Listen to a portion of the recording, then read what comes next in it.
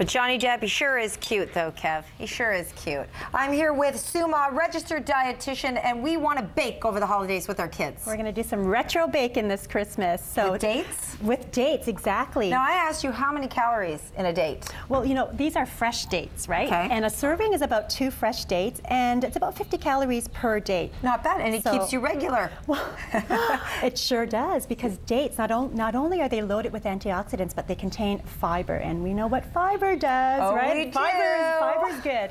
So there Okay. you go.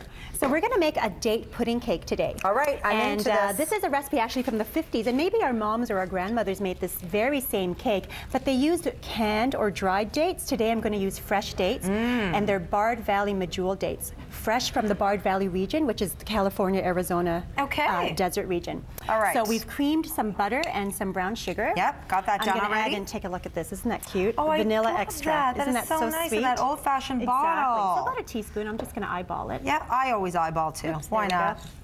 Okay. Give it a good stir, and then we're going to add one egg at a time. Oh, one egg at a really time. simple recipe. okay, yeah. so one we'll egg get the at a time. You might want to switch to a whisk. Yeah, I do. Whisk it up a bit. And it's such an easy recipe to do too. Get in the kitchen with your kids. That looks so good. And then here's the next egg. Okay. This is an easy peasy recipe, right? It's an right? easy peasy recipe, right? And what All right. I've done here is I've cut about 10 medjool dates, pitted them. They're so easy to pit. You just take it, peel it. And and how? Why is it watery? I've added water to You it did because that's water. the moisture that we need also for the cake, for the Okay. recipe. So we're going to pour this in. Okay. Now these are fresh dates, remember that. So there's no preservative, no sulfites, no sugar added. Okay. It's got a natural sweetness that just adds yum to the recipe. So you're going to mix that in too. And then you might want to switch to a spoon and just fold that in really nicely. You have such a nice display here. I don't want to put it on the. It's okay. Don't want to put on all the fluff. Okay. Now we're going to move that so everyone can see. And then we'll add some flour. Get it in there. Get it in there. All right. Is that our last ingredient? That, well, that's our last ingredient. So you're going to fold everything really nicely. Mm-hmm. And then we pour it in a bundt pan. Okay. So do you want to put it in the bundt pan yeah, now? sure. Let's do that. Sorry, for 350 time's oven. sake, I'm trying to No problem. get it 350 all. oven for about 35 to 40 minutes. Okay. Where can people find this recipe? Oh, on the website bardmedjool.com.